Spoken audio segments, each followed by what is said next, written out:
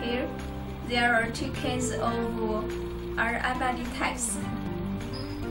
We can see some antenna inserted into the text. Yeah, they are used for clothes management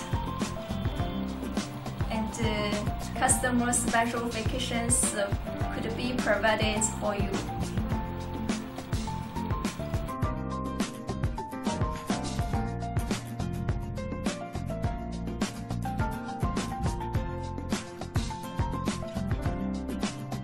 The RFID clothes tag promotes the clothes management and saves the cost of human and materials.